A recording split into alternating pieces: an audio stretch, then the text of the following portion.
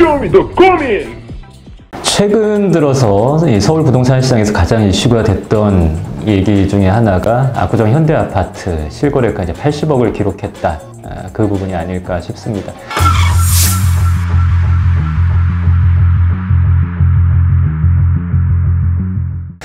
여러분들은 이 아파트 80억 원, 어, 물론 뭐 대형이긴 합니다만 어, 그 가격에 대해서 어떤 생각을 갖고 계실까요?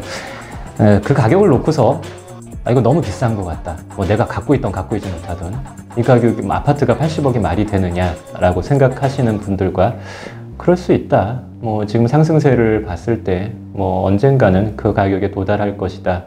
아, 라고 예측을 했다. 이런 어, 두 가지 이 생각의 큰 차이를 어, 보일 것으로 예상이 됩니다. 근데 시장을 바라볼 때 어떠한 눈으로 바라보시느냐에 따라서 앞으로의 투자 의사 결정과 그 결과에 굉장히 많은 영향을 미치게 되겠죠. 어떻게 바라보는 것이 맞을지 오늘 이 상담 내용을 같이 공유를 하면서 그 부분을 어, 따져보도록 하겠습니다. 지난 시간에 이어서 역시나 예, 저희가 그러니까 유료 부동산 상담으로 진행하고 있는 네 가지 예, 주요 파트 중에서 역시 아파트 재건축 쪽에 집중을 해서 하나의 사연을 같이 여러분들과 공유를 해 보도록 하겠습니다. 방송 보시는 분들 중에서 상담 신청하시고자 하는 분들은 항상 이 702-6888 번호로 연락을 주시면 되겠습니다. 아, 질문 내용을 한번 같이 볼까요? 요즘 다른 때보다도 이 재건축 아파트에 대한 문의가 굉장히 많이 들어오고 있는 상황입니다. 그 중에서도 올림픽 선수 기자촌 아파트 34평형을 관심을 갖고 계신 분인데 지금 매수해도 될까? 이 부분이 굉장히 궁금한 상황인 것이었죠. 어, 최근 진행 상황이 안전진단을 통과를 했습니다. 과거 2019년도에 한번 안전진단에서 고배를 마시고 절치부진해서 드디어 1차 안전진단 통과를 했습니다. 뭐 2차 결과가 남아있긴 합니다만 그래도 중요한 고비 하나를 넘어간 것이기 때문에 갖고 계신 분이나 관심을 갖고 계신 분에게는 뭐 긍정적인 시그널이 분명히 될 것으로 생각이 됩니다. 1차 안전진단을 통과한 이후에 어, 매수를 하려고 관심을 갖고 보다 보니까 내가 생각했던 그 가격의 마지노선을 넘어선 가격이 계속 올라가고 있다는 거죠. 그리고 막상 시장에 나가서 지금 있는 걸 또 살려고 하니까 앉은 자리에서 호가 올려버리는 경우도 많이 있죠. 그런 상황이 벌어지다 보니까 아 이거를 아, 지금 매수를 하는 게 추격 매수가 되는 것은 아닐지 좋은 시장에서의 그 1차 안전진단 통과라는 좋은 시그널이 왔음에도 불구하고 또 한편으로는 어, 좀 불안한 마음도 드는 것이 지금 이 시점에서 음, 강남권 혹은 강동권의 아파트를 새로 특히나 이제 재건축의 경우에 새로 진입하시려는 분들의 어, 비슷한 그런 마음 상태가 아닐지 싶습니다. 이 부분에 대해서 같이 얘기를 나눠보도록 하겠습니다. 여러분들이 이러한 상황이라면 뭐 어떠한 선택을 하는 것이 가장 좋을 것이다. 각자 이제 마음속에 여러 가지 생각이 떠오를 텐데요. 제가 늘 강조해서 말씀을 드리지만 부동산을 바라보실 때 이 하나의 상품, 이 지역에 올림픽 선수 기자촌이라는 아파트가 갖고 있는 객관적인 상품으로서의 가치도 있겠습니다만 그것만으로 결정을 하실 수가 없는 게 내가 어떠한 상황에 처해 있는가 나의 자, 자금 규모와 나의 연령대와 그리고 어, 그 가족이 추구하고자 하는 라이프 스타일도 당연히 반영이 되어야 할 것입니다. 부동산 시장을 바라보는 가족 간의 합치된 의사결정이 이루어졌는가도 당연히 같이 보셔야 될 그런 내용들이 되겠죠. 어, 상담을 신청하시게 되면은 그 양쪽을 모두 왔다 갔다 하면서 객관적인 부동산 시장에 대한 평가와 함께 그리고 그 부동산을 놓고 여러분들 개개인 한 분한 한 분에게 가장 맞는 선택이 또 어떻게 그 조합이 도출될 수 있을 것인지에 대한 설명을 드리고 있습니다. 재건축 대상 아파트이니만큼 수익성 분석을 정확하게 한번 해보셔야 되겠죠. 어, 송파구 방이동 올림픽 선수 기자촌 아파트입니다. 88년 6월에 입주를 한 어, 30년이 넘어간 그런 아파트가 되겠죠. 어, 최근에 1차 안전진단 통과를 어, 마쳤습니다. 그리고 네, 용적률을 한번, 한번 가만히 들여다보시면 용적률 137%입니다. 어, 용적률이 굉장히 낮은 수준이죠. 거기에다가 대표적인 평형인 34평형을 따로 떼어놓고 봤을 때 대지 지분도 20평이 조금 더 넘는 용적률도 낮고 대지 지분도 어, 굉장히 많이 부여가 되어 있어서 객관적으로 봤을 때 사업성이 높을 것이다. 예전부터 평가를 받아왔었던 것이죠. 그래서 실제 재건축이 진행된다라고 가정을 한번 해보고 어, 이 시점에서의 재건축 사업성을 한번 평가를 해보도록 하겠습니다. 내가 지금 34평 올림픽 선수 기자촌을 현재 시세가 20억이 최근 실거래가가 찍혔죠. 20억에 산다고 했을 때 어느 정도 그 예상 차익을 기대할 수가 있을지 계산을 한번 해보겠습니다. 어, 앞으로 변경될 가능성은 있습니다만 최초의 올림픽 선수 기자촌의 그 재건축 준비위원회에서 목표로 잡았던 무상 지분율은 200%였습니다. 사실 영상을 통해서 간략한 가장 중요한 메시지만 전달을 해드리는 시간이기 때문에 어, 이 무상 지분율이 무슨 개념인지부터 시작해서 재건축 전반적인 그런 설명은 해드리지 못하겠죠. 하지만 유료 상담 신청하신 분들은 만약에 내가 재건축에 대한 기초 지식이 없는 상태에서 신청을 하신다라고 하더라도 다 이해하실 수 있게끔 그 기초 어, 단어의 정의부터 시작해서 어떻게 계산을 하는지 어, 유료 상담 신청하신 분들은 다 알려드리고 있습니다. 영상에서 좀 패스를 하겠습니다. 무상 지분율 200%를 적용한다고 했을 때는 대지 지분이 20.8평 정도니까요. 약 42평형을 어, 그야말로 무상으로 추가 부담금 없이 배정을 받을 수가 있는 것이겠습니다. 현재의 올림픽 선수 기자촌과 입지적인 유사성이 가장 네, 근접해 있는 어, 송파 헬리오시티를 놓고서 42평형의 신축에 해당되니까요. 신축 시세를 놓고 보면은 26억 아, 원 정도의 거래가 되고 있는 것이죠. 그래서 단순히 26억 원과 20억 원의 차이, 그 6억 원을 예상할 수 있는 시세 차익이라고 일단은 계산을 해볼 수가 있겠습니다. 근데 변수가 한 가지 있는 것입니다. 초과익 환수를 생각을 하셔야 되겠죠. 어, 초과익 환수를 또 정확하게 계산을 하기 위해서는 기간 중에 정상 가격 상승분이라든지 또 개발 비용을 차감해야 되겠습니다만 가장 보수적으로 그런 요소들을 다 빼고 초과익 환수를 계략적으로 계산을 해 보겠습니다. 초과 이익이 1억 1천만 원을 넘는 경우에 해당되기 때문에 2천만 원에다가 6억 원에서 1억 1천만 원을 뺀 금액의 절반을 적용을 해서 산출을 하면은 2억 6천 5백만 원의 초과 이익 환수에 해당이 되는 것이죠. 그럼 예상 차익 6억에서 이 정도 2억 6천 5백만 원을 빼면은 3억은 조금 넘는 정도의 차익을 기대할 수 있다라는 결론이 나오게 됩니다. 아, 일단 어, 무상 지분율 200%를 적용했을 때 이렇게 나오는 것이고 근데 실제 사업을 진행하다 보면은 어, 기부 체납이라든지 임대주택의 이제 배정 부분을 감안해서 다시 무상 지분율을 산정을 하게 되면 200%까지 나오지 않을 가능성도 어, 당연히 보수적으로 한번 예측을 해 보셔야 되겠습니다. 통상적으로 뭐 가능한 170% 정도를 가정을 했을 때는 34평형을 어, 배정을 받을 수가 있겠습니다. 34평형 배정받고 뭐 한 평 정도 더 남는데 뭐 작은 부분이기 때문에 그건 차치하도록 하겠습니다. 그럼 현재 34평형 시세 20억 원인 것이죠.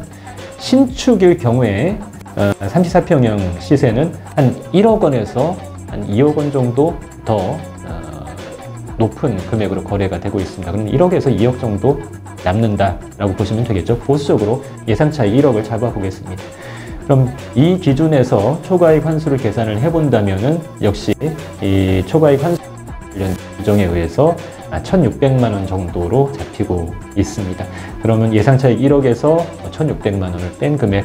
근데 아까 말씀드렸던 것처럼 34평은 배정받고 한 평 정도 더 남는다고 말씀을 드렸죠. 그럼 요거 저거 플러스 마이너스 하면은 뭐 1억 정도 남는다라고 예측을 해볼 수가 있겠습니다. 여러분들이 지금 현재 그 주변 신축 시세를 감안하고 어, 올림픽 선수 기자촌의 34평형을 매수했을 때 현재 가격으로 매수했을 때 기대할 수 있는 예상 차익의 폭이 되겠습니다. 뭐 이 예상 차익을 놓고 어떤 분들은 어우 그 정도는 뭐 충분히 에, 괜찮은 어, 이익이다라고 해석을 내리실 수도 있겠고 아 나는 이 정도 바라보고 재건축을 투자하려고 했던 게 아니 아니었는데 의견은 다 제각각 다를 수가 있는 것이죠.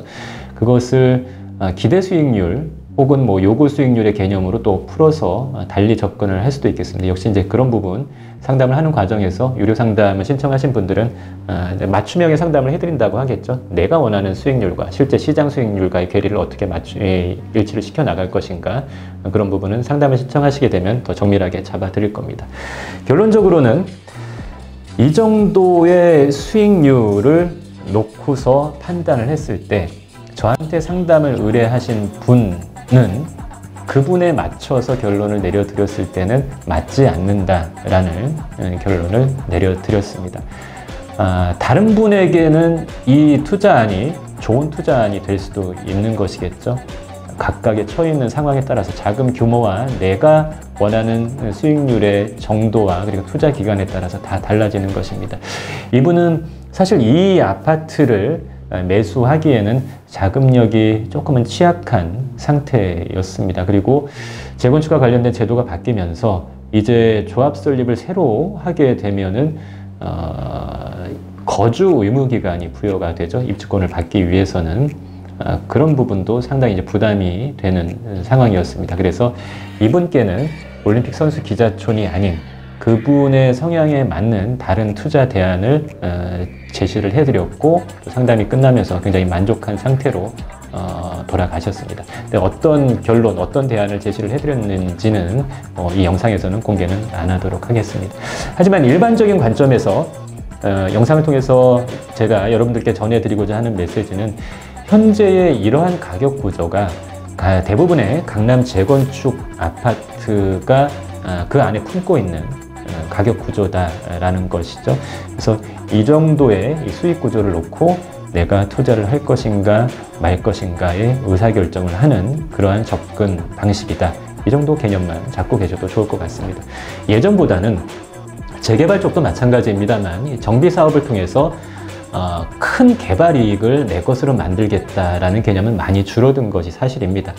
어, 그거보다는 그 입지에 지금은 헌 아파트이지만 나중에 새 아파트로 바뀌었을 때 그 이후에 정상적인 가격 상승을 보고서 투자 의사 결정을 하시는 경우가 많다는 거죠.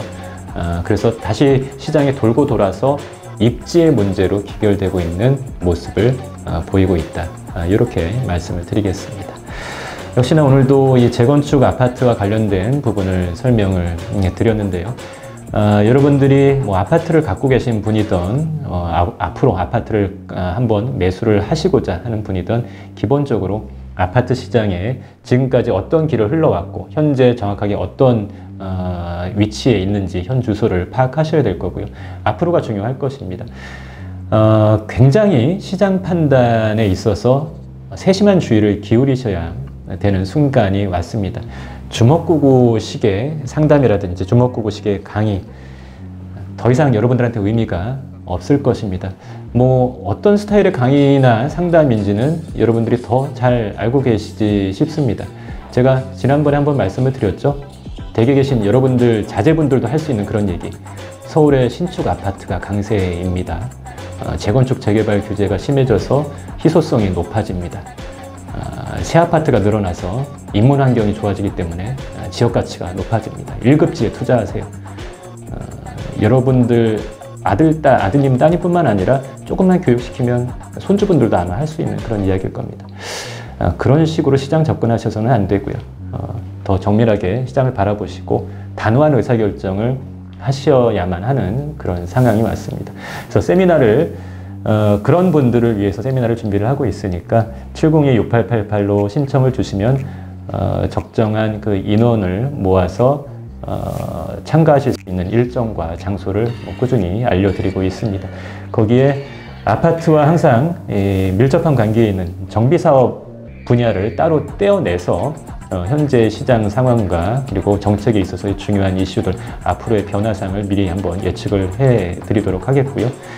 어, 주택 시장이 좀 급변하고 있습니다. 최근 여러분들도 알고 계시겠지만 저희가 개인 그 부동산 컨설팅도 해드리고 있습니다만 기업을 대상으로 한 그 B2B 컨설팅도 해드리고 있는데 최근 들어서 어, 이 공급 파트에서 저희한테 가장 많이 문의가 들어오고 있는 분야가 이 하이엔드 어, 주택 시장이 되게 되고 있는 상태입니다.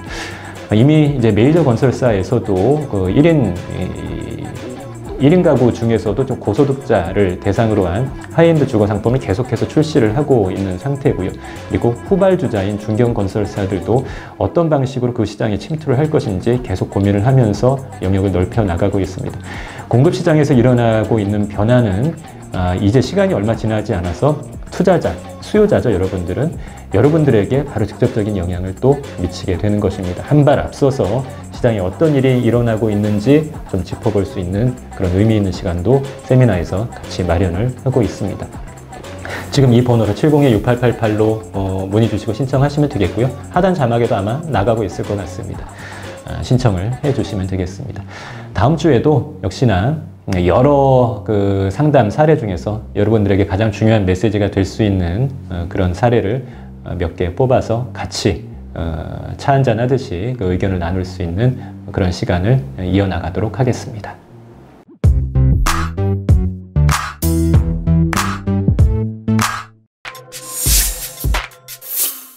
알찬 분양 정보를 확실하게 분석한다.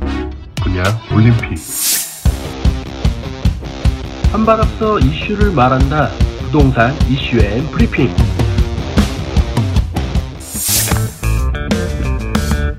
머니S와 함께하는 부동산 정보. Money and the City. 누구나가 될 수 있는 건축주만의 프로젝트.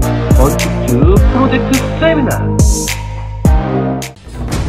쇼미더 고민!